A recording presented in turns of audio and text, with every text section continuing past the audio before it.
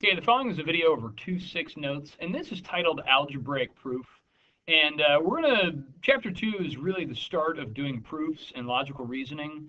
Um, but we start off with algebraic proofs before we start doing geometric proofs. And guys, whenever you solve an equation, okay, whenever you solve problems, um, you have your algebraic steps, and these are all your steps that you use. Um, the only difference of what we're to be doing is we're to be justifying our steps. Okay, so each step is justified. All right. So uh, what I want you to do uh, is take a look at these. Um, whenever you have these properties of equality, and that's what they all are, um, they mean that equations stay balanced. Okay, so these allow, these are the steps that allow you to solve equations. All right.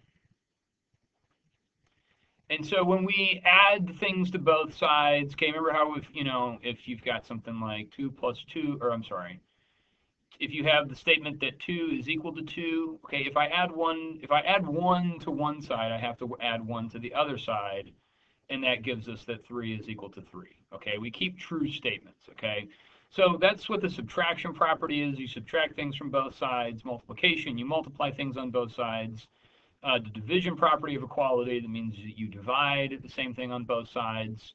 Um, the reflexive property means that, you know, 3 is equal to 3, okay, that something is equal to itself. Uh, symmetric property means that you can move things uh, on either side of the equal sign.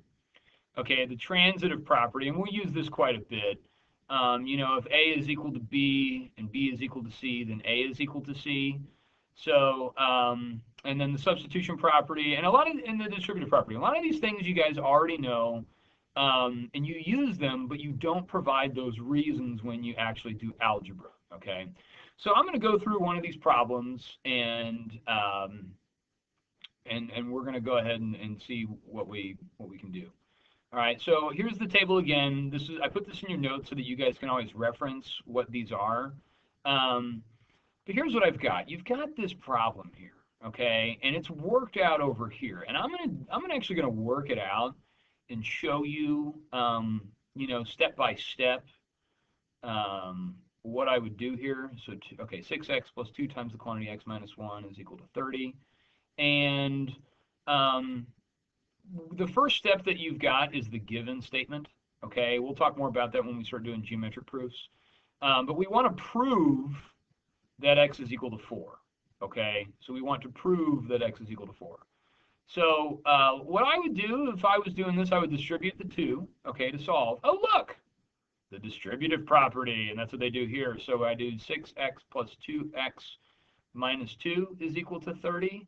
Um, and then this step here where they go 6x and 2x and give you 8x, they use this thing called the substitution property. I com I call this one combine like terms. So combine like terms. Okay, it can be used in this case. So I've got 8x minus 2 is equal to 30. Okay, and then I would add 2 to both sides. Okay, oh, that's the addition property of equality. That's what they do there. So then I've got 8x is equal to 32. Uh, divide by 8, divide by 8. And then all of a sudden, Okay, 8, 8 divided by 8, that gives me x, and that's equal to 4. Okay, and that's a division property of equality. When the book does these, okay, they do them, and they're very, excuse me, they're very um, specific and particular with what they do. Guys, I'm not going to be that particular, okay? You don't need to always write that if you combine like terms, that 8x is the same as saying 6x plus 2x. You can just say combine like terms. Uh, when you take negative 2 plus 2 and then 30 plus 2 and simplify this, you, you, you don't, that's one of those steps where I'm not really going to be too particular about things, okay? So let's go through uh, an example um, and go through exactly what they say, all right? Um, and, and when you're given something. You're given a you're given an equation, you're given some information, and then you're asked to prove that x is equal to 3. And so what it wants is that it says these are your steps in this column. These are the steps, and this is the reasons why. So why did you do things, okay?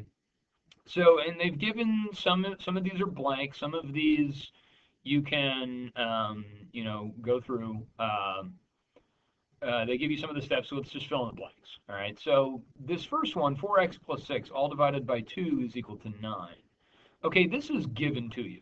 All right, that's what you're given. All right, and folks, let me tell you what. Christmas came early. This is a gift.